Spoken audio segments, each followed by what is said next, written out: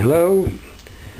I'm going to attempt to measure the amount of energy I'm having to put into my generator to get the 30 watts that um, was produced by my Stirling cycle engine. Um, the setup is this. I have a, the generator rigged up so it's attached to the chuck of an electric drill which is clamped to the bench.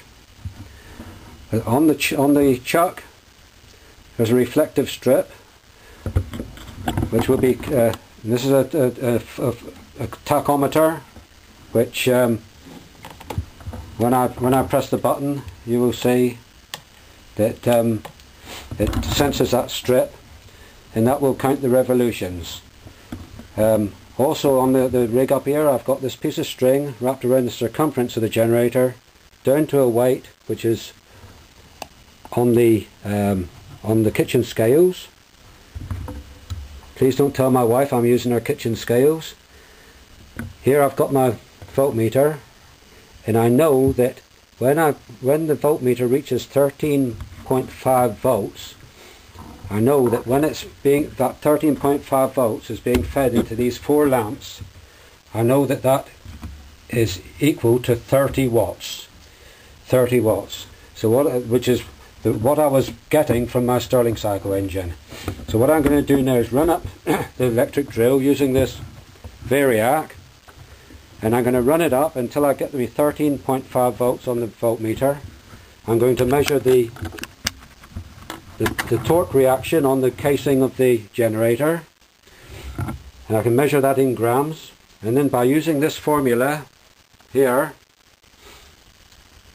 I should be able to work out the amount of energy being put into the generator to get my 30 watts output. So I'm going to run it up now.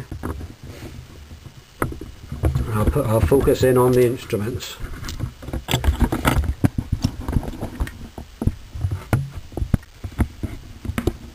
There we are, ready for startup.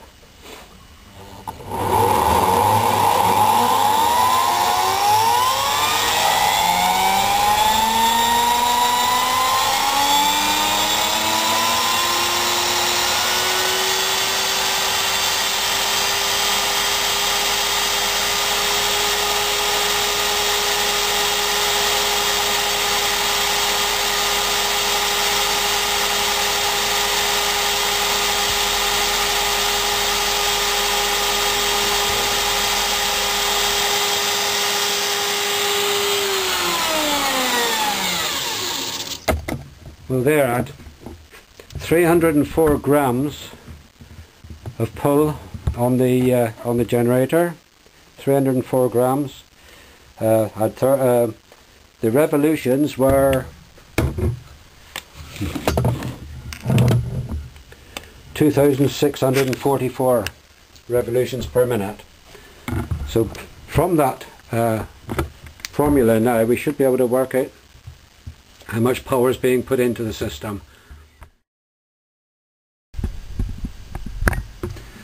Well, I've, I've now done my uh, calculations and I've written on the board there the what I've found. The um, revolutions per minute, 2644, 6.4 is the radius of the, the, of the generator, 304 is the, the weight in grams being pulled by the reaction of the generator. Um, and all that and this is a conversion factor. This is uh, because we're, we're dealing in uh, small money rather than uh, watts or kilo uh, kilowatts. So we've had, this is a conversion factor for bringing it down into um, into small quantities and the conversion factor is that. Uh, so we end up with uh, 52.47 watts that's the input power into the into the generator. So so that is the power that the um, the generator was producing, the um, the Stirling cycle engine was producing 50, 52.47 watts plus the um, the amount of power needed to work the the the, the pump, the coolant pump, and the um, the cooling fan. And I reckon if we round that up, and we if we sort of guess it's at 8 watts for all that, so if we add 8 watts onto there, we get a nice round figure of 60 watts.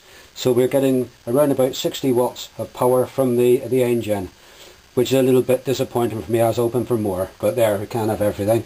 But um, so the, uh, um, so we're getting ne nearly uh, 1 watt per cc of uh, displacement of the power piston. And I think that concludes the uh, concludes things for now. Thank you.